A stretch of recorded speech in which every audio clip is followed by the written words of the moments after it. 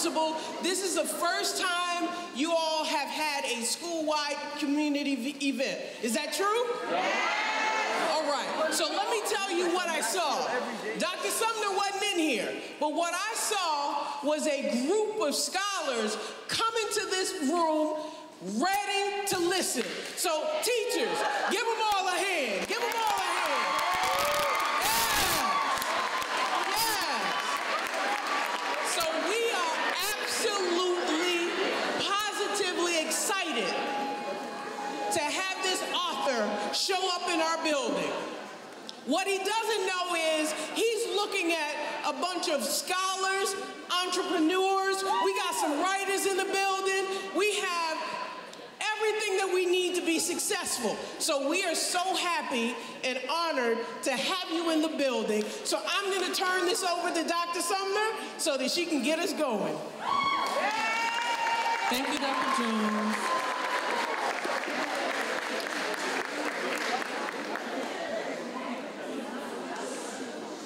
Thank you for being here, Jason Reynolds. I'm to start by fangirling a little bit. The, the school knows me as Dr. Sumner, also Dr. Beyonce. Um, but my journey with you began when I was an educator at Fenway High School, and I had seen Trayvon, I had seen Tamir, I had seen Eric Gardner, I had seen Mike Brown, and I was an English teacher with a room full of babies who were looking at me like, what do I do? How do I handle this? And it wasn't until All American Boys that I, as an educator, found the language for it. And so I wanted to express my gratitude to you. This isn't a question, this is just expressing my gratitude to you. I wanted to thank you for being a seismic shift in black identity, in black dignity, in black legacy, in black thought, in black letters, in words for all young people, young people and the young at heart. So just as an educator, thank you very much. His mic ain't on, y'all.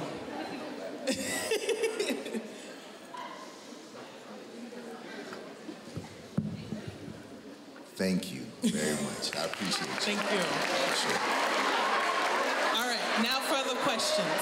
So, the definition of the word prolific is marked by abundant inventiveness and productivity. Bruh, you got 21 books Yeah. and loading. He's, Yeah. I'm- I'm working, you know what I mean? like, what is your recipe for continuously creating powerful, amazing works time after time after time? Yeah, you know what? It's, it's a good question. First of all, what's happening? Everybody good? Yeah. y'all look good? Yeah. Um, it's a good question. You know what? I, I'll tell you. You want the you want the truth, the honest answer? We want the truth. All right. So, look, I, part of it is just work. None, none of it's magic. Part of it's just work ethic, right? I get up every single day. I do the same things every day. I'm very disciplined, right? I get up at 6:30, 7 o'clock every single day. I go to the gym. I make myself breakfast. I read the newspaper, and then by around 8:30, 9 o'clock, I'm sitting down and I work from about 9 o'clock to about 4 o'clock in the afternoon, right? Every single day. So I'm writing. I'm Monday through Friday. So I'm writing. I'm reading. I'm studying. I'm researching. I'm doing all the things I need to do to make this. I'm writing about two to three thousand words a day, um, which you know, which, which equates to a book every six weeks, right? It's eight weeks if you're doing it that way. Now, the flip side of this, the other part, the truth about it though, is that it's rooted in a certain kind of anxiety. It's rooted in a certain kind of compulsion, a, a bit of obsessiveness, right? Like, not everything is okay up here, right? And that's the truth, right? I, I gotta, some of us know what that's like. I have to do all the things to manage all that's happening in my head. But part of the thing that happens for me is there's a bit of obsession, there's a bit of like, I, eh, because, because I come from what I come from and I'm scared to go back.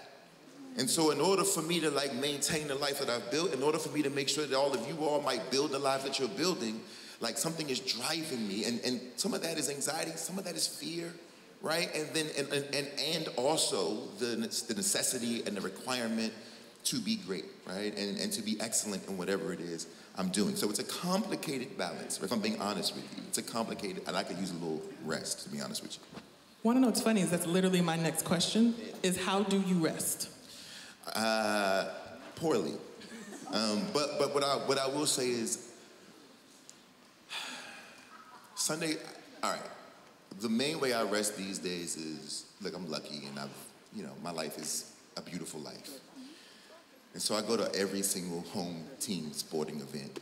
So like I got, I'm a season ticket holder for the for the Wizards. I'm a season ticket holder for the Commanders. I go to the Capitals. I go to the Nationals. I right. I live in DC, obviously, right. So I go to every game um, because it's the only time that I'm not thinking about this stuff right? So like I'm going to watch the basketball game, I'm, I'm not worried about writing. And it's a part of my rest process. It's a part of what gives me time to sort of recharge. The other thing though is I go to the movies two or three times a week when I'm not traveling, just because I love the movies and it's, and it's like a quiet space and you can't use cell phones in there. So I get to shut it all down for two and a half hours and focus on something else. And then on Sunday mornings, every single Sunday morning, I go see my mother and we sit at the table and we sort of have our moment. We have a little breakfast, read the newspaper, laugh and joke, and that's like the biggest like the biggest recharge for me. So I have all kind, and then I, you know, I got all kind of other regiments and things that I do to make sure that I that I find moments of rest, but it's just not quite enough yet. But I'm, I'm working on it, right? We're gonna get there soon. A vacation soon, you know what I mean? Better? Yeah, soon, soon, soon. Better. And speaking of your mother, Isabel. Yeah, the great Isabel. The great Isabel. Happy Mother's Day to your mother. I appreciate that. What you do special with or for your mother on Sunday? You know what? It's funny because this year her older sister turned 80 the night before, so we party. So when I went to go see her, she was like, "I'm like I ain't got it, son. Like whatever you want to do, I ain't trying to do it. Like I need to rest. I need, you know, she's 78 years old, partying like she's 17, and so." You know, that Sunday morning was actually a little rough for my girl. And so I brought her cards and flowers and did all the things that we normally would do, but it, we didn't do anything major this year. I'll, I'll take her to dinner. We'll do something fancy sometime soon. But she was, you know, going through it on that morning. on that morning. She was trying to find her She was trying to figure it out. Got it. Got it. Uh, a very popular question. Three words. Long way down. Yeah. Why is it written in verse? And why did you end it the way you did? Uh, why is it written in verse? It, so the original version of that book is not written in verse. It's a version that none of you will ever see. Um, I wrote it as like a standard sort of novel about this kid and all the things he's going through in the elevator. And it was like 300 pages and it was a lot. And my agent was like, yo, I love the story, but don't nobody want to read, like, if this is gonna, if this is supposed to happen in, in like one minute of this kid's life, I can't believe that if it takes me two weeks to read the book. So you got to figure out how to speed this up. How do you make this work in a way where everybody who reads it feels like they're in the elevator with this kid? Um, and so I rewrote it in verse because in verse I understood. I was like, oh, okay, well, the brain doesn't work in complete sentences, right? It, it's it's it's not actually the way that like our you know our human computers work. We don't function in like these smooth sentences. It's more like snapshots, right? And then your- your brain is doing the work to piece it all together, gets it down here, and then you you communicate it in a complete sentence because you've been trained to do so. But before you were trained to do so, you would just throw out words, right? Eat, right? When a baby is hungry, eat, right? It's like you you you would do it this way. And so I knew that if I could like break the break the story down into these sort of verses, that it would it would actually sort of attach itself differently to the mind of the reader, because that's the way the mind works anyway. The other thing I knew is that if I could create more space on the page, then I could manipulate the language differently and then play around with the subconscious of whoever was reading. So because I'm a movie person, you study somebody like Alfred Hitchcock, who is famous for those of you who don't know, got really famous for right for making all these like scary scary movies in the 1960s, 70s, right? And 80s. And one of the things that he would do is he would like tilt the camera, right? It's like I'll just have a regular scene, nothing scary is happening, but I'll tilt the camera a little bit because even though nothing scary is happening, the people who are watching this know something is wrong, but can't put their finger on why. They feel uncomfortable, but they, they, they can't quite explain what's causing the discomfort. And it's just because there's something that is like dissonant to the brain. I did the same thing a long way down, right? If I move a word down here, what does it do to the brain? If I move a word over here, what does it do to the brain? If I break a word in half and separate the letters, what does it do to the brain of the reader, right? It's meant to cause a certain kind of discomfort, um, and you can do that more when you have more space on the page to play around with. Lastly, uh, in terms of why did I end the book that way, You know, it's funny because it's probably the question I get more than anything. That and like, what happens at the end? What's your answer to the question? Which, by the way, I'll never say. Um, I'll never, ever, ever give that up. But the truth is, is that I ended the book that way because I respect you. And I end every book. If you read any of my other books, you realize that most of them end sort of in a similar way because I respect you. I feel like you always got to be careful um, with anybody who gives you the answers.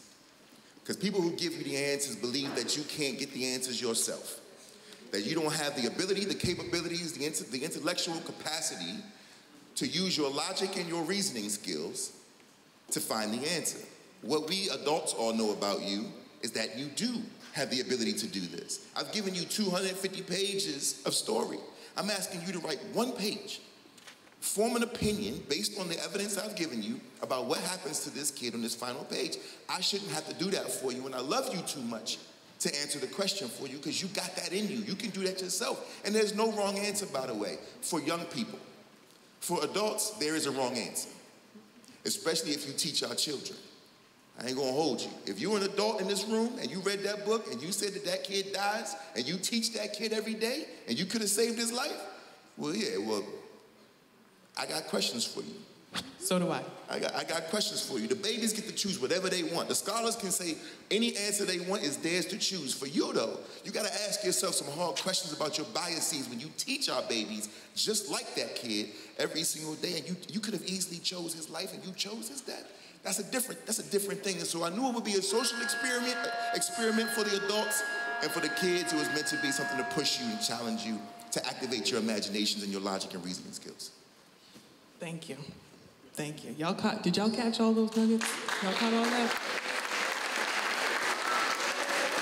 So,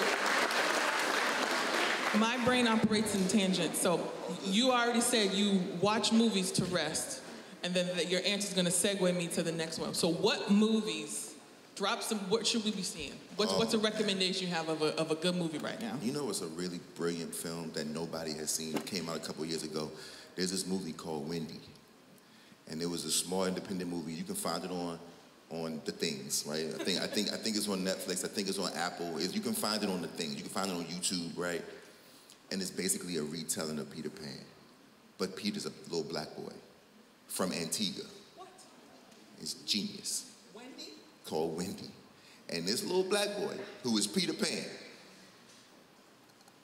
but like not like he is because he is but not in the way that we're used to seeing Peter Pan. We're not in the way of like there's no there's no Tinkerbell. There's no sort of like there's no magic except for the magic of black children. Like the magic of what it is that we already have. But it's the it's a retelling of this story, but it's it's just a different way to think about like imagination and growing up and the adventures of our lives in a way that I've never seen before. It's a powerful film. So I watch that movie probably once a month. I watch I've probably watched that film 60 times. Now I'm going to as well. And I promise you, as an educator, first of all, you're gonna be a mess. But I, I promise you, it'll, it's, it's like a it's like a chemically changing kind. Of, it's like, oh, I'm not the same anymore. Watch that film. Good to know. Anybody else gonna be dueling, finding Wendy find on it's all dope. the things? It's, it's dope. It's dope. So speaking of movies, you've got lots of flexes, right? Uh, Ambassador of young adult literature, Yeah. multiple million times New York's best-selling, all of the things. And you have Marvel, like just a part of your Wikipedia. Yeah. Like that happened. That happened. Like how? Uh, they called me. They called me. You know what's funny? I, I'm gonna tell you the truth. The truth is, is that like it is a flex, but it's the flex that I that I like the least. I know it's a, it, and I'll tell you why. But uh, you know what? First of all, let me say this. I love Miles. I love what I made. Right? I love sort of what what he became because of the things that I made. I love all of that. Um, but you know, I don't own Miles. Miles isn't mine, right? Like Marvel owns Miles. So Marvel called me, this is a true story, they called me on the phone because they can get anybody's phone number. And I answered the phone and they like, yo, we got this, um, this character that we made that we can't get to work. They couldn't get Miles to work. Miles was already out. They had put out six comics, six issues of the comic book. And it was like, if anybody's read the original Miles Morales comics, you know that they're super like watered down. right? They basically were trying to make, like, take Peter Parker, paint his face brown, and that'd be it, right? And there's like a moment, and, and I'm like, yo, I don't, this is, this is corny, and I'm not interested. So I say no. And they're like confused because nobody says no to Marvel. And I'm like, I'm cool, I'm good. I go out of town and do an event in Tulsa, Oklahoma, talking to some shorties out there, some kids, and they like, yo, the teacher's like, yo, we got a bunch of boys in ISS, right, in school suspension. Before you leave, can you pop in and say what's up to them? I'm like, yeah, no problem. I go in. I'm like, what's up, y'all? What's going on? We talk for a little bit, and they're like, yo, what you working on? I'm like, man, I just finished Long Way Down, this, da, da, da, like, this is going on. and they're like, and I'm like, and I just got a call from Marvel to do this Miles Morales book. And they're like, who's Miles Morales? Because no one knew who he was at the time. And I was like, apparently, he black Spider-Man, right? He half black, half Puerto Rican, right? Like, he from Brooklyn, you know? And they're like, what? It's a black Spider-Man? He like us? He come from where we come from? He in the hood? He eat what we eat? Do we wear Jordans? Do we all this stuff, right? And I'm like, I don't, I'm like, I don't, I don't really know. But if there's something that y'all are interested in, they're like, bro, yes. So I call Marvel and I say, send me all the comics. They send me the comics they have, and I'm reading the comics. And there's one part in issue number three where his suit gets ripped, and there's a girl who's filming it with her cell phone as he's flying through the air. And she zooms in and has a YouTube video, and she says, Oh my gosh, this Spider Man is brown. And he's watching the YouTube video in his dorm room, and his response is, What does it matter? And in that moment, I realized, Oh, they're getting this all wrong. They getting this, oh, of course it matters to us. Of course it matters, right? So I called Marvel back. I'm like, All right, I take the gig, but you gotta let me do whatever I want. That was the bargain. I look back on it now and it's like, what kind of person does that, right? To, to Marvel, but but like when you when you when you know they need you, when you like y'all, what I love about y'all is that like y'all really understand that you're the, at least I hope you understand, and if you don't, I'm finna tell you, y'all are the arbiters of culture. What I, what I mean by that is, don't nothing move without y'all. Nothing in culture, right? Whatever's fly, whatever's new, whatever's hot, whatever music style, whatever's going on, even if the adults don't get it, it's moving forward, and it has everything to do with y'all. They need you way more than you know, right? They making all that money on you, on your intellectual property, your imagination, your fly, your style, all of that you, all them dances y'all be making up, they making money on you, right? So I tell Marvel, I ain't doing nothing unless y'all let me do it the way I want to do it. And they're like, all right, let's hear, let's hear your ideas. And I, and I told them, uh, basically, so this is a secret, I'll tell you all, now you'll know, but I grew up down the street from, uh, like around the corner from Kevin Durant. I mean, Kevin Durant was growing up, and you go see him play, and you be around him. Kevin Durant was always the Kevin Durant he is now. Kevin Durant was always sort of like on his own way, doing his own thing, very focused on who he wanted to be. And when he got drafted, all of us in the neighborhood were like, oh, he, like, that's a superhero. If you go from being a kid living in a one bedroom apartment in the projects to a person who's worth $300 million and you come from where we come from, you a superhero, right? To, to us, right? So, so I was asking myself, man, I wonder what it was like for Kevin to have to manage a superpower that he never asked for. A superpower that he didn't even believe he deserved. How do you come back to the neighborhood and be on the same block, knowing that your life is completely different? How do you deal with the guilt of surviving? How do you deal with feeling inadequate because you're the only superhero you know, even though your mama has given you more superpowers than any spider bite will ever give you? If we make him black, this is what I told Marvel. If we if we keep him the way he is, a half black, half Puerto Rican boy from Brooklyn, Spidey sense is no longer a superpower, it's a survival skill. Everybody in here got it. Y'all know what it is to know when the bad thing is coming before the bad thing gets to you. We've all been in the room and been like, hey, I think it might be time to go. Hey, I think it might, hey, let's look like it's getting ready to get funky in here. It's time to bookie, right? We know what that's like. Our mothers and fathers have given us that kind of game. That ain't no superpower. That's what it is to be from where we from. That's what it is to be black in America, especially if you're living in, in, in, a, in, a, in a condensed population of working class people. You better know how to, how to move, right? Same with like, what, is it, what does it mean to put on a mask and be invisible? Take off your mask and still be invisible. Only we know that right? He had camouflage as a superpower, like we do, right? Like we know how to move in any kind of room. We code switch with the best of them, unfortunately, but it is what it is. We have to survive. So I knew that if I took him on, I wanted to show him as an actual black teenage boy navigating the, the two worlds of his rich white school and his neighborhood and his parents, because we all come from, most of us come from parents who are like, when I was growing up, I speak for myself, and I know you know this, where it's like, Mom, I want to do this, this, that, and the third. And your mother say, like, I want to save, I want to save the world. My mother's gonna be like, boy, you better save these grades first. then, you, then you're gonna save this household.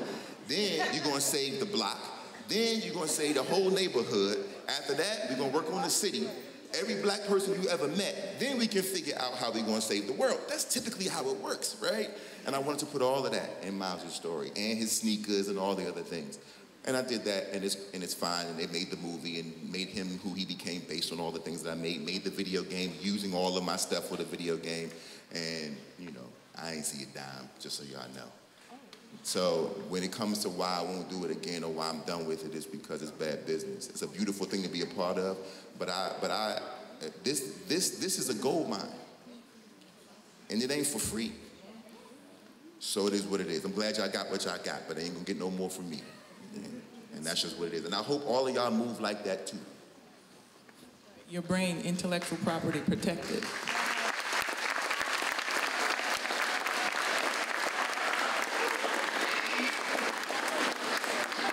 Okay, this next question,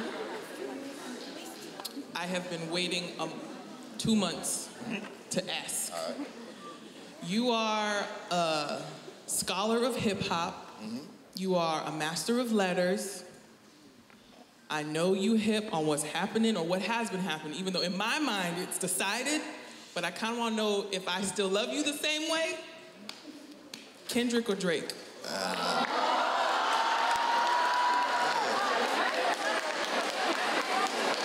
So, you know, it's, it's a good question. It's a good question. Are you- asking me who I think won the battle? Is that what the question is? That's why you're genius. Good job. Is that the okay. question? Yeah. The question is yes, who do you think won the battle? Kendrick, I mean.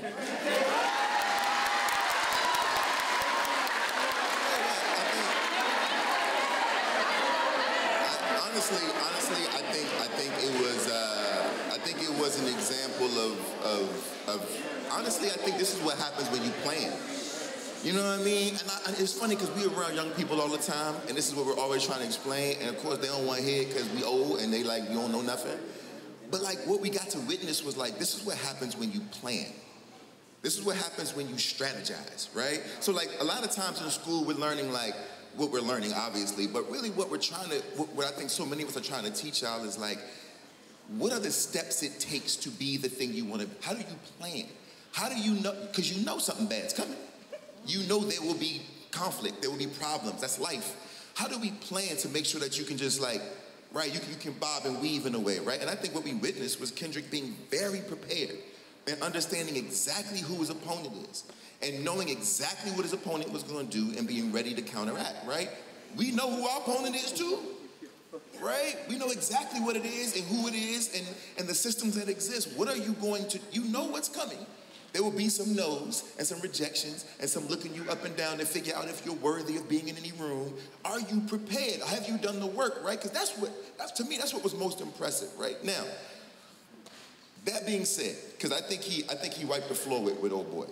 Seriously, and, I, and honestly, I think, and honestly, it's weird because I think he actually may have damaged this person's career in a very real way, which is a wild thing to see, right? Because Drake was sort of like, you know, an untouchable figure for so long, and he got picked apart. But if you're asking me 10 years from now, which, which of their songs will still be being played, it's, it's tricky. Now, Kendrick got They Not Like Us, that's a hit, hit, hit record, right? It's a specific song, especially if you're from the West, that's a hit record, right? But I'm curious to see. I think about, I mean, we- we've been alive long enough to see Nas and Jay Z. Nas won the battle hands down. Ether is a, one of the greatest diss tracks of all time. But no one's going to tell me it's a better song than Takeover. Honestly, as a piece of music. And that's, and that's okay. But when we talk about the battle, I mean, this was, this wasn't close. You know what I mean? Shout out to Kendrick Lamar for, uh, you know, And, and I know you're, you're besties with Wale, so there was a moment where I was kind of like, uh-oh, uh-oh. He ain't, he ain't getting it. He don't want no problem with none of them. Shout out to Wale. Okay, so before I open this to the future Jasons in the gym, you are looking at a gymnasium full of, in my opinion, young Jasons of all genders. Young creators, young brilliant geniuses, engineers, professors, authors, literally anything you all want to do, you have everything inside of you to do it. But you don't always get the opportunity to hear from someone like Jason Reynolds. So my question to you is if you could tell them, what do you want them to hear from you specifically? Yeah. What do you want them to hear from you that only you can say? So this is a good this is a good question. All right, let me take a second because I, I really want to make sure that I seize the opportunity to to really love on y'all in a way that you won't forget. Here, here, number one is this: young people have, uh, you all have a very specific ego. It's something that comes with being a teenager. It's something that makes all of us very upset. But I'm going to beg you to hold on to as much of it as you can. The truth of the matter is, is that everything you feel, not all of it is wrong. A lot of it is right. A lot of what you're feeling uh, uh, are real feelings, and a lot of the things that you think are wrong are actually wrong. Um, there's just a lot more to the story, but the ego that says that you know better, the ego that says that you, that, I know it's some kid in who is like, yo, I'm him, right? Or it's me, I'm her. And if that's how you feel about yourself, I hope you always feel that way. Because everybody will try to convince you that you're not him, that you're not her, right? And so the first thing I would say is protect some of that, right? You, uh, that's what propelled me to, to, where I am. I was 19, 20 years old, really believing that couldn't nobody outright me. Was I right at the time? No. There were people who could outright me. But, but the belief that I had in myself, the way I felt about me, it was like, yo, I'm nice. Right? I know I'm nice, right? When I was young, right? Now, I mean, I've been kicked around a lot these days, but like when I was young, that, that, that sort of arrogance of youth can be a superpower if you understand how to use it right? So the first thing I would say is hold on to that, but just learn how to wield it better. Right? Don't aim it at your teacher. Don't aim it at your, right? Figure out where to put it. But once you figure out where to put it, you out of here, right? Number two, nobody wants to live in a world where young people ain't making adults mad. Your job is to be irreverent. It's a part of your, it's a part of like what comes with being young. We don't like to tell you this because it makes our lives more difficult. But the truth of the matter is, you being irreverent, you shaking the table, you saying, I don't like this, I want something different, I don't think this works anymore. I think that that's old school. We want something fresh for us, something that feels tailor made for who we are, for this generation. We use this, we do that, we listen to this, we wear this. Like, I understand all of that. You're supposed to shake the table. If you're not shaking the table, if we love everything you do, you're doing something wrong. In order for the world to continue to change, y'all gotta make a mess of it. That is the point, and it never feels good for an adult. My grandfather, my mother always tells us stories about how my grandfather couldn't stand Dr. King because he was a frightening figure for an older person. Dr. King was a rebel rouser who he thought was going to get his children murdered. But every generation, that's the way it's supposed to go, right? He, he wasn't supposed to understand. But my mother, who was his generation, was like, I think you're wrong. I think he knows something. And I think he's gonna do something that you couldn't do, right? You got us this far. But this, this young knucklehead is getting ready to push us a little farther. This is your job. Make us upset. But just know there's a difference between being irreverent and irresponsible. What is the difference, you ask? Right? What is the difference? The difference is actually quite simple. The difference between those two words, being irreverent, which is pushing back against the norm, and being irresponsible simply boils down to intention and planning. Do you know what you're mad about or you just screaming? Because nobody got time for a whole bunch of hollering if you don't know what it is you hollering for. Do you know what the changes and, and, and uh, what you want to change? Or you just mad things ain't the way you want them? It don't matter if you're like, this don't work. Well, then what is the solution, young person? What is the new option? Provide us with what's supposed to happen next to make it better for you. Give us some ideas. You can't just be hollering about how mad you are if you don't have a, better option. That requires planning, thought, intention. That requires coalition with the people around you. That requires intergenerational relationships, meaning you can't hate all your teachers because you need them. You need some OGs in your life, especially the ones who you know loves you, and everybody in here knows which ones love you, right? Keep them close. Keep them close, right?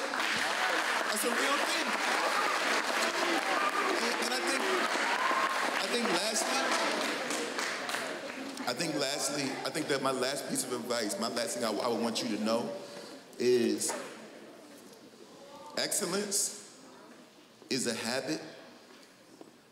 Excellence is a habit.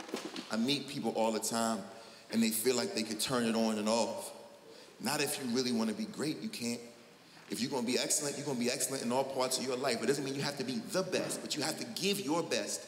And everything, you got to give your best as a, as a, as a daughter or a son to your parents. You got to give your best as a student. You got to give your best as a friend, as a brother, as a, as a, as a partner, as an employee someday, as an owner of a business someday, as an artist, an athlete, whatever you, whatever you want to do, you got to give it your, you got to give it your all because excellence is a habit. And once you get in the habit of excellence, you won't know any other way. and, when, and once you don't know any other way, failure is no longer an option. It's not a thing. It's not a possibility. It doesn't exist in your realm, right? You don't think about it that way right? Which means, which means, by the way, that you all have to get comfortable with difficulty. Here's the thing, and I'll end it here. I love y'all so much. I think y'all are the smartest generation we've ever seen. I just, I just don't, I just, I just don't always, I just don't always know. Thank y'all. I just don't always know if, if y'all actually believe it yet. And I think what happens because of this, this sort of break in belief is that every time something gets complicated in your life, every time somebody gives you some work that's a little bit difficult, every time you try something that you're not good at immediately, y'all fold up. And the truth is, in order for you to be anything in this world, y'all gonna have to get comfortable with difficulty. Adults come to work every day in this school and love on y'all, and y'all have no clue on what's happening in their households. You got no clue of what they've had to jump over to get here to love on you. And you know why you don't know? Is because they're okay with the fact that life gets hard because there's still a job to do. And they still have to manage the job that they have been sent here to do. So, so as you all move on and get out of here, don't be scared because it got hard. Y'all give it up for Jason Reynolds, please.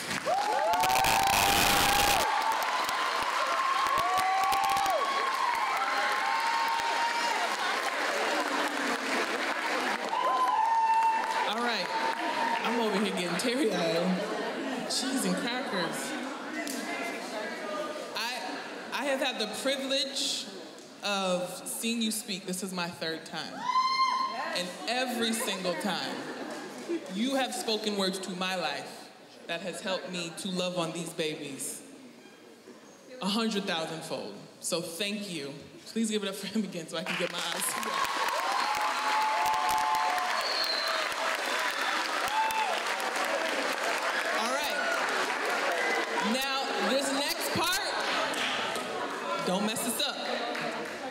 Listen to all of the instructions. There is a microphone here. Don't get up. Nobody get up yet. There's a microphone there. Only one person at a time.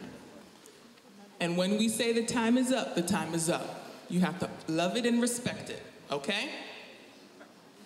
So if you have a question, please come gingerly, respectfully to a microphone. That's right. It's not enough to just raise your hand. Come up. All right, we got our first three. All right. Remember one mic. Cyanne's got the first question. And after, I think it's Jeff T, we'll pause and then we'll see what we have time for. Go for it, Cyanne. My question is, what's your biggest motivation to stay on task in life and keep pushing to be successful? Uh, my mom, my mom, and y'all. Right, I'm around y'all all the time, and I see what it is, and I just, I'm like, let me do my part, right? But also, I got OG. My mother, my mother been through things that I'll never go through. And so if she never quit, I don't have an excuse, right? So she keep me motivated. Thank you. Yeah, I'm gonna try to get as many answers as possible, so we're gonna run them through. Hi. How you doing, man? My question is, what makes fiction so powerful for um, young people like us? Oh, that's that's that's a good that's a good question. I think um, number one, uh, depending upon fiction is broad, right? There's many different kinds of books that a person can read. So either you're reading about something that you directly connect to, right, which is always important, and the other thing that happens is that you're reading about something that you don't connect to, which means you're learning about the world around you in ways that don't require as much money to go and travel to see, right? You get to know what's happening in this neighborhood, in this part of town, without you having to go there. Most importantly, though, reading fiction is the only thing that will train the brain. And what I mean by that is when you're reading, the act of reading, it's like going to the gym and lifting weights for your mind. It's the only thing that'll teach you discipline, persistence, consistency. It'll teach you imagine, it'll keep your imagination sharp. It'll broaden your vocabulary. The more words you got, the less you have to use these, right? And most importantly, it'll teach you how to listen to yourself because it's your voice you hear when you're reading, not mine. And you're gonna need to recognize that voice as you get older. All right? Thank you. Mm-hmm. Yeah. Okay, so um, what inspired you to make the book Ghost? Oh, Ghost. Um, publishing company was trying to get me to write a book about uh, basketball players. And I was like, you know, we do more than play basketball, right? So I was like, that's weird. And I wanted to write about um, what it feels like to run. And for, you know, everybody in here who has ever run, which all of you have run at some point in your life, you know that it feels terrible, right? And in order for you to be good at running, you gotta be okay with feeling like you're finna die, right? That's why adults don't be running no more, right? And so I wanted to write about young people who, who got comfortable with feeling like they were suffocating. And I based it on a, one of my best friends, Matt Carter, who Ghost really, that really happened to him when he was a kid. His father tried to shoot him and it was a whole, so that's where that all comes from. Um, shout out to, to my man, shout out to Ghost. No doubt.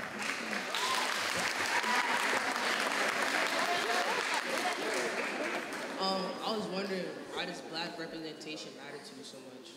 Cause everybody be acting like we ain't it. Like, you know, you know what's wild about about being a black person specifically, and, and all over the diaspora, right? So whatever version of black that you are. That's the other thing. We, blackness is broad. It's huge, right? Blackness is is a. I like to consider us a neon color, right? I think we glow in the dark in ways that people don't quite understand. And I think and I think we have the history to stand on, but more so we have the present, and even more so we have the future to stand on because of people like you. And I'm just tired of people acting like we ain't it when really we always been it, and everybody know we it. They just be lying to us, trying to convince us that we not. But we really be making everything go out here, right? That's all. And I just want to celebrate ourselves. You know, why not? You know, yeah. What's your favorite book that you've written, and what's the favorite book that you've read? My favorite book that I've written is The Boy in the Black Suit. Uh, I love that book. It's like a, it's like a special book for me. Yeah, and it's personal because it's super personal. It's about like a lot of stuff that I went through, and this that's my favorite book. And my favorite book that I've read, oof, I read a lot of books. Probably is a book called Salvage the Bones by Jesmyn Ward that I think is the best book of the, of the 21st century. And I think all of you in here, that's a book that that's a masterpiece. Salvage the Bones. Thank you. You got it. In a video, I watched you talk about your mom helping you with a date and making lasagna. Yeah. Is your mom the reason for the cookbook Matt's mom made him in The Boy in the Black? Yeah, yeah, but I got the recipe wrong. Yo, you know what's wild? Yes, yes, she is. But I got the cookie recipe. Don't make them cookies in that book, because that recipe, them cookies gonna be dry. Don't make them cookies. Uh, because I showed my mom and she was like, this ain't right. This ain't the recipe. But yes, my mother is, my mom is, I, I was lucky. I'm, I've been very fortunate. My mom is the coolest human being. And she definitely was like giving me, you know, giving me game as a kid, making lasagna for my girlfriend and all, that, you know, she was cool. Yes, shout out to my mom. I would, you know, listen, shout out to my mom. How did you get your How did you get your book deal? How did I? Oh man! All right, let me try to run a quick a quick version of that story. How did I get my book deal? So remember when I was talking to y'all, I just was mentioning like the, the, the ego of youth, right? Like all of y'all in here know that y'all, it's like, yo, I'm the best person to ever, you know what I mean? I really felt that way. And when I was a 16, 17 year, uh, 18 year old, I, me and a buddy of mine took out a loan, took out, you could get credit cards back then. You remember this, you get high limit credit cards for signing your name on a paper. And they gave me basically $20,000 limit and on a credit card. And I swiped the credit card and had this book made that cost us thirty thousand dollars to make. And I made this book of like poetry and art and all this stuff. And I went to New York City and I'm trying to figure out how to get this book in the hands of the right people, but nobody will look at it because that's not how you get a deal. But we didn't know how to get a deal, and the internet wasn't the internet yet, so we had to open up phone books. Y'all know what a phone book is? It's okay if you don't. It's okay. So back in the day, so back in the day, they used to. So like, you know how adults always be getting on y'all about social media about like protecting your privacy and protecting your identity. This is what you say back to them. They used to deliver phone books to each individual's house, and in that book was everybody's phone number and address. So if you wanted to find anybody's phone number or address, you could just open up a book and be like, let me just find, just go to the A's. Or let me, let me go to the R's and find Jason Reynolds' phone number. And. So we had to do it that way, found all these publishing companies, run around, nobody gave us a chance. And then eventually, because of a friend, he gave it to a, a person who gave it to a friend, and this lady read it and was like, yo, this is cool. Anybody willing to invest this much in themselves, I at least want to take a meeting with. And that's how I got in the industry. So it was like a backdoor situation. It was, it was, a, it was like a weird, unconventional way. The point is hustle, hustle, hustle, hustle, hustle. Yeah. Yeah. When you were in high school, was passion, like your passion for writing always there?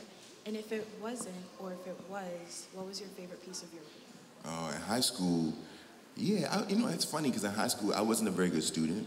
I was kind of a knucklehead and was a little all over the place, but I loved to write um, because it gave me uh, it gave me purpose. Back then, nobody was trying to do it do this. I was I was supposed to be an athlete. I was an athlete. I ran, I wrestled, played basketball, did all these things, right? Even when I was in high school. But I really liked knowing that nobody else was writing poetry.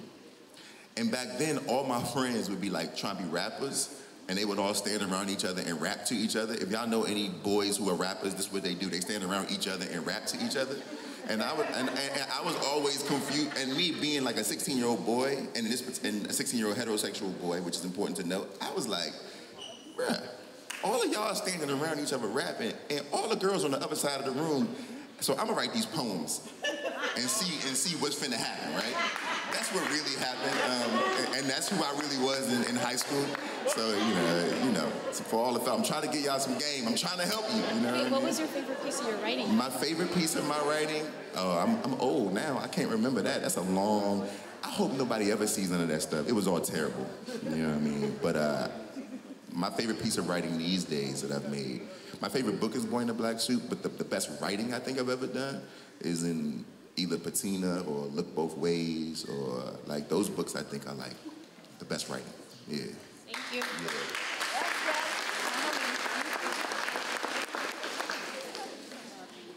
Do you think ego hmm? do you think ego impacted impacts success for everybody? I think I think that ego. Let me tell you something. I think that ego is um, is like everything else. Too much of it is destructive. Just enough of it is propellant. Just enough of it, right? I think that when we think of ego, sometimes we're all. First of all, everyone has ego, right? We all have ego, right? And I think that when we think of ego, we only think of the negative. But that's because of an overdose of it right? But at the end of the day, I want you to stand in front of me with your shoulders back and be like, yeah, like I'm confident up here to ask this question. That is, that, there's nothing wrong with that. There's nothing walking around knowing that you believe in yourself more than anybody else believes in you. I hope you do, right? I hope you believe in you. Don't wait for them to believe in you. Right? You got to you got to know. Now, does that mean you should mistreat people? No. Does that mean you're better than anyone? No. You are not. Does that mean anyone's better than you though? No, they are not right? And that's how that works, you know. So, so I think a healthy bit of ego ain't nothing wrong with it. Let me tell you something. I'm a writer for a living, and it's the most complicated thing in the world when it comes to ego because it requires an absolute amount of humility to make something and get and the insecurity that comes with that, knowing that everyone will judge it. And it also requires an awful lot of ego to believe that I got a story I think everybody need to read. Right? Both of those things coexist. Got me? Got you. All right. So, what compelled you to make Stuntboy? Captain Under. So the question is, what compelled me to make the book Stuntboy, Captain Underpants? Yeah, I, I, was. It was the pandemic. I could. My brain wasn't working. I couldn't read nothing. because back like my concentration was all messed up, right, because of the pandemic. So I went to the bookstore, bought all the Captain Underpants books because they was the only thing that I could actually get through. I read all 16 Captain Underpants books and thought to myself, why he get to have a whole corner? Why he cornered the market and get to have? He's the only person who's done it that way. And so I was like, let me write my version of Captain Underpants. You know what I mean? And that's that's where Stuntboy comes from. Thank you. Yeah.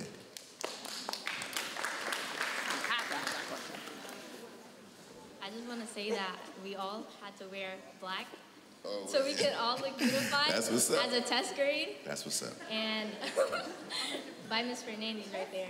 I like it. I appreciate that. I appreciate that. Y'all look good in your black. You know what I mean? You know, I don't know if y'all know this, but this is it for me. Like my whole closet look just like this. You know I mean? I've, only worn black clothes, plain black clothes for 20, what, 12 years, 13 years. That's it. Yeah. And I was wondering what was your like reason for the extended metaphor in the book of like the game of declare war and um, Oh yeah. chess. Yeah, you know, so that came from, that's a good question. So for those of you who haven't read The Boy in the Black Suit, there's a part in the story where he's, our main character is playing uh, I Declare War with his OG. Um, but this is New York City, and in New York City, everybody plays chess, right? All the kids learn chess when you're young. All the old heads play chess. Everybody plays chess. It's like the, that's like their game because they believe that if you understand the game of chess, you understand the game of life, right? Because chess is all about tactics, strategy, planning, foresight, right? Like vision, being able to see ahead, uh, and you know, and a bit of ruthlessness, right? Like it's it's a war game, but I don't know if it's truly the way life works. It's the way we hope like life works. It's the way we think life works. It's the way that like life would, would work if we could make those decisions. But the truth of the matter is, is that every day each of us just turning the card over, hoping for the best. Every day is a day where I'm like, look, today I, I pulled a, a four and you pulled the eight, so today is your day and it's not mine. But tomorrow, because I still got cards in my deck, I still got a chance to get a, to get an eight or a nine or a ten or an ace, right? And I'm okay with that, right? That's life. As long as you got cards in the deck, as long as you got cards, then, then, then the next day could be your day, right? As long as there's cards. Now, people sometimes are like, well, I mean, like, what if I go on a string of like low cards? Just keep flipping them cards, because that will happen. It's happened to me. It's happened to your teachers. It's happened to your parents, right? But there's there are high cards coming if you just keep turning. Don't quit. Just keep turning, right? That's that's closer to life than any game of chess, you know. So that's where it comes from. All right. Yes, give it up for that answer. We have time for, and I, I, I like, it's gonna break my heart if Daniel doesn't get to ask his question. Oh so, yeah, nah, Daniel got to ask his question. Yep. So we're gonna cut off after Daniel and I know. And Kingston. So everybody behind Kingston, I love you, but no. Sorry, y'all. I love you so very much. Sorry, y'all. Nope. I love you. Go for it, Kingston. Um, what pushed you or motivated you to um, start writing, and how did you become successful in your writing career? Yeah, but what pushed and motivated me to start?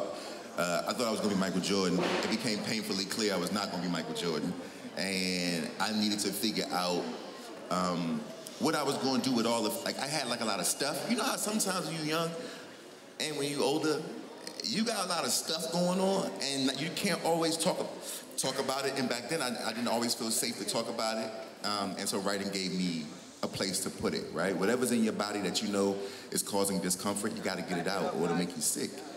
Right? If any of y'all walking around with knots in your stomach, any y'all got anxiety, any y'all got stress, depression, and any of the things that happen to us mentally that, that cause our body to feel certain ways, you got to figure out how to get that up off you or it'll make you sick. That's real, right? It can become poisonous thing.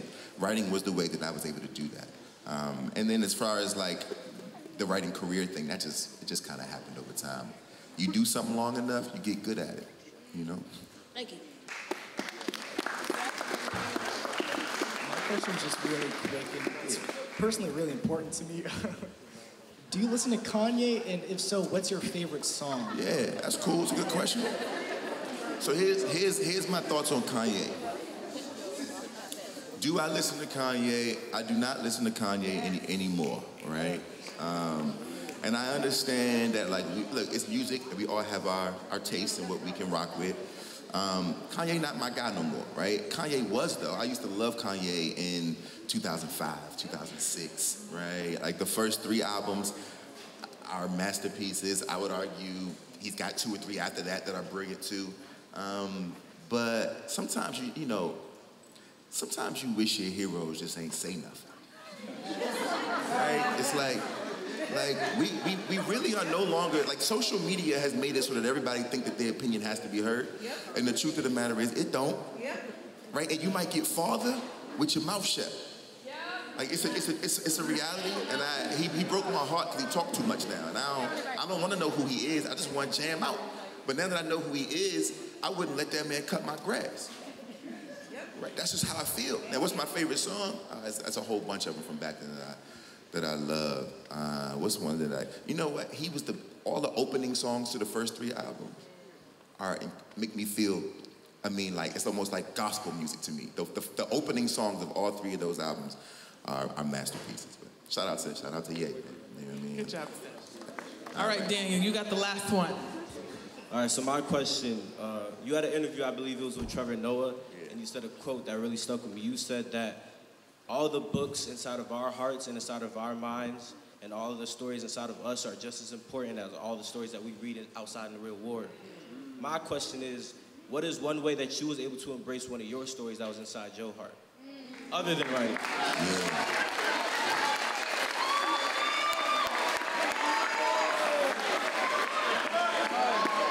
You know, that's a good, that's a very good question. I know you're gonna be a good psychologist. It's a good psychology question. You know what I mean? Um, you say outside of writing. So um, you know what? I, so let's have an honest moment before we get out of here.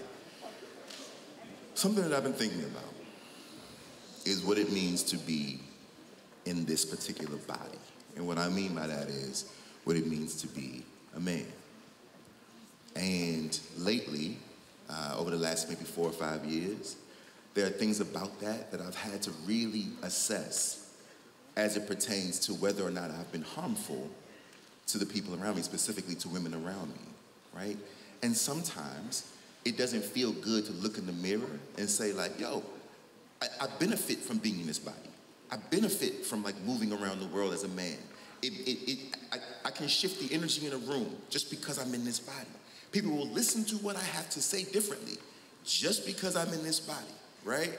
And I think we, we, we try to get defensive about this when we really shouldn't, right? I, and, and, and I think it requires, and, and it's a story that is in all, that story is in YouTube, by the way.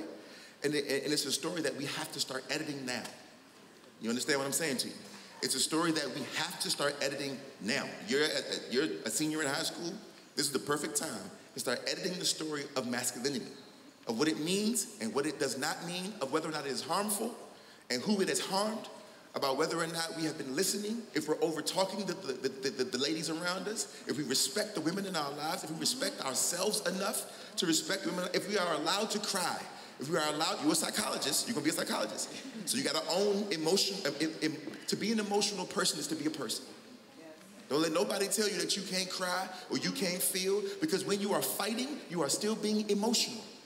So you can put that emotion somewhere else, somewhere where it feels a little better, and it's actually a balm to your to your psyche, right? But these are stories that we all have, especially young men in the room, that we have to start owning now, and we have to start editing. And I, at 40, right, when I was 35, started to be like, yo, let me really take a good look at who I am. As a, I like to think I'm a good guy, but you can't get caught up in that. Can't get caught in that. You should ask the women around you how they feel about you. Have them tell you the truth about whether or not they're comfortable around you, about whether or not they hear what you say about them when they walk past, about whether or not they know that your eyes are on them when they walk past. Do you ever, could you ever imagine what it is like to be a 13-year-old girl and that every, and that every day for the rest of her life until she's 40, 50 years old when she walk out the house, she got to be concerned about you, about what you say, right? That's real, right? And you gotta own that, all right?